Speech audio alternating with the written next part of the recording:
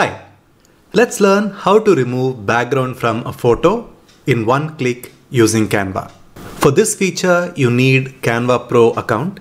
If you don't have, you can click on the link in the description box below the video to get your free Canva Pro trial account. It is our affiliate link.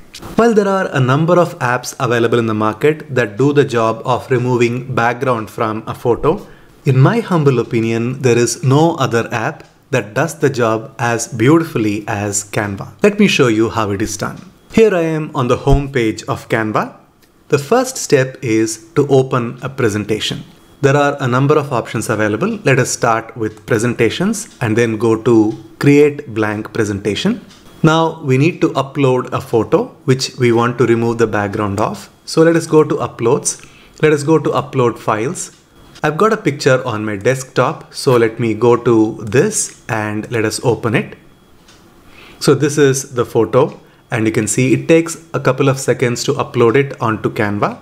I can place this on the canvas like this and I can increase the size. So I have all the elements that I want captured. You can see that I want this much to be isolated and all the background should be removed. So how do I do that? I just need to click on the photo then go to edit image option and there is this beautiful option called BG remover. You just click on that option and the job will be done. It is a fairly simple and straightforward process. You don't really have to do much. There it is beautifully isolated. Now I can download this by going to share, download, and I can download it as a PNG image. And I can say that it needs to have a transparent background and let us have it downloaded.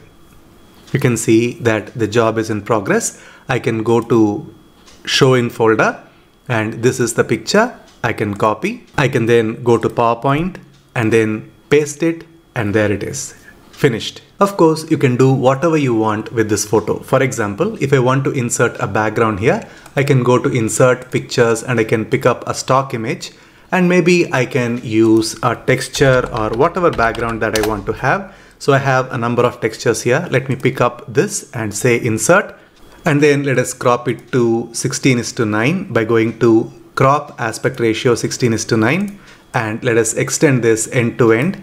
Right click and send this to back and there it is.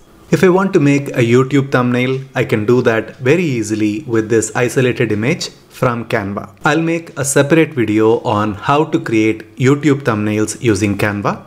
For now, I want you to try this by signing up for a free Canva Pro account and see how this background removal works. Now, the specific reason why I am so impressed with this app is it does a phenomenal job of isolating even if the edges are not smooth. Can you see here? We have a rough edge here and it has beautifully removed all the background around the hair and it has given a neat result.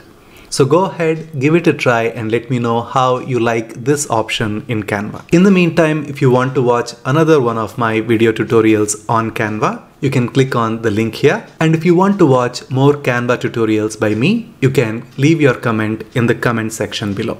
I'll see you in the next video.